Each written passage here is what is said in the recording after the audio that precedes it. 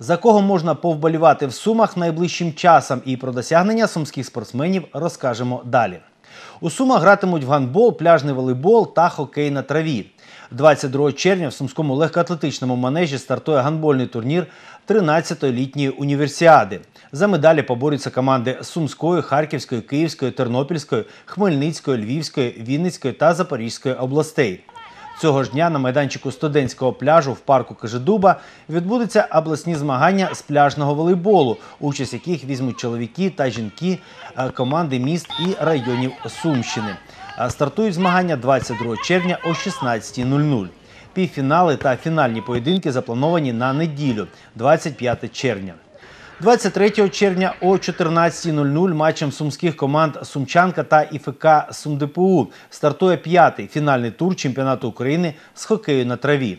По завершенню туру в неділю на полі в парку Казка відбудеться церемонія нагородження чемпіонок і призерок турніру. Три команди з хокею на траві Ю-10, Ю-12 та Ю-14, складені з вихованок Сумської СДЮШОР Динамо, Україночка, Сумчаночка та Динамо візьмуть участь у світових іграх, які прийматиме австрійське місто е, Клагенфурт. У рамках міжнародних змагань юні спортсмени змагатимуться не лише в хокеї на траві, а й в гандболі, тенісі, волейболі, баскетболі, флорболі, футболі, регбі, боулінгу, плаванні, орієнтуванні та легкій атлетиці. Стартують світові ігри 22 червня. Очільник сумського футболу відповідатиме за дитячо-юнацький футбол. На виконкомі Федерації футболу України президента Федерації футболу Сумщини Андрія Прохоровича обрано головою комітету дитячо-юнацького футболу Федерації футболу України. Футбольний клуб Дніпро вийшов із відпустки і розпочав підготовку до нового сезону. На базу Дніпровського клубу прибули потенційні новачки команди, зокрема, півзахисник Дмитро Кропивний і нападник Владислав Войцеховський.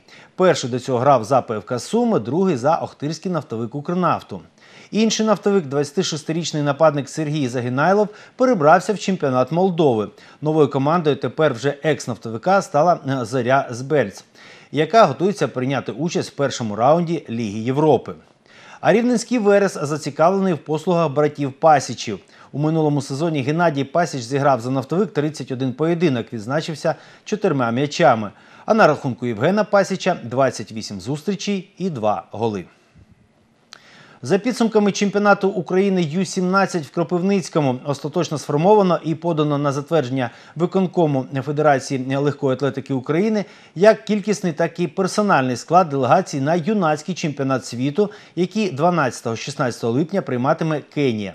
За словами старшого тренера збірної України з резерву Андрія Каратаєва, наш земляк Олексій Кирилін китком диску на 62 метри і 2 сантиметри підтвердив, що може боротись на чемпіонаті світу за високий результат. Елітна група збірної команди України з дзюдо завершила підготовчий збір перед чемпіонатом світу, який у серпні-вересні відбудеться в Будапешті готували спортсмени на батьківщині дзюдо в Японії. Участь в навчально-тренувальному процесі взяли е, сумчанин Артем Хамула та студент Сумду Кеджао Нябалі. Ще один студент сумського вишу Богдан Ядов пропустив збір через травму. В найближчих планах сумських збірників участь в турнірі світового гран-прі в Китаї.